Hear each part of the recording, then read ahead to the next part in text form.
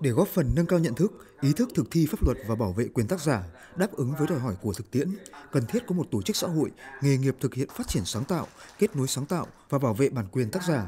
Qua hai vòng lấy ý kiến của các bộ ngành và các tổ chức liên quan, Bộ Nội vụ đã quyết định cho phép thành lập Hiệp hội Sáng tạo và Bản quyền tác giả Việt Nam. Đây là tổ chức xã hội nghề nghiệp, tổ chức và hoạt động tuân thủ theo quy định của pháp luật, chịu sự quản lý nhà nước của Bộ Nội vụ và sự quản lý của các bộ ngành có liên quan.